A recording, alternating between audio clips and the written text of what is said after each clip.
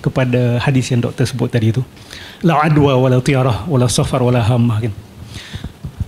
Kalau kita analisa hadis tersebut, kita akan lihat bahawa Nabi sebenarnya tengah ajar kita pemikiran saintifik tu sebenarnya. Asas kepada pemikiran saintifik. Kalau tengok keempat-empat tu, semuanya adalah mengaitkan musabab dengan sebab yang salah. Mengaitkan efek kepada kos yang salah. Betul tak? So Nabi tengah beritahu kita apa? Nak pasangkan dua perkara, pastikan dia ada kaitan. Jangan suka-suka.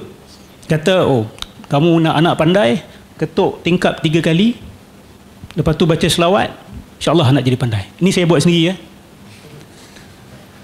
Apa masalah amalan seperti itu? Dia tak ada kena-mengena. Kena bagi tahu ni, jangan ikut pula nanti. Disclaimer. tak ada dalam kitab-kitab jauh lama tak ada. Ha? ha? Dia tak ada berkaitan sebab musabab. So kita diajar untuk oh apa yang menyebabkan perkara ini berlaku? Kita kena check betul-betul. Apa variables dia? Apa punca sebenar dia? So kena buat experimentation, kena buat tapisan. Ada orang kata, "Ustaz, saya pernah sakit kepala, ustaz."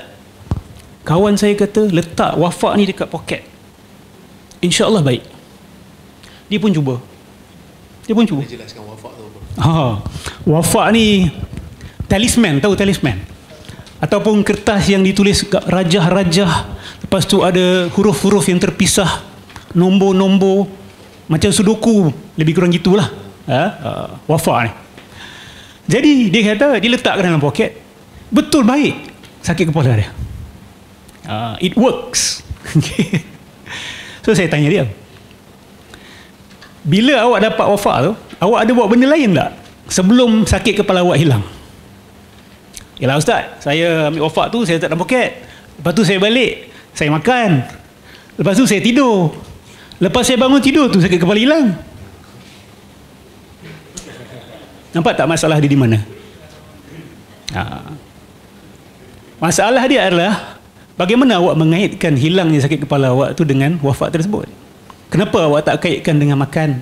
Kenapa awak tak kaitkan dengan awak dapat tidur? Ha, tu kena cek, kena tapi betul-betul. Apakah sebab yang sebenar?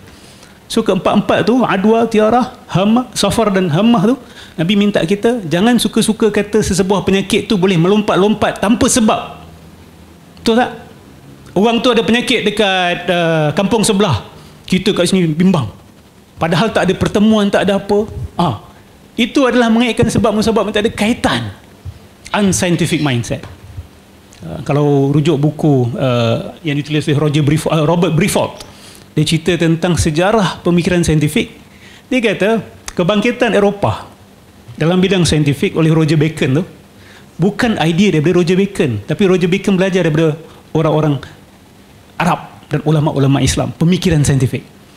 Tapi akal dia daripada siapa? daripada Nabi sallallahu alaihi wasallam. Daripada Al-Quranul Karim. Okey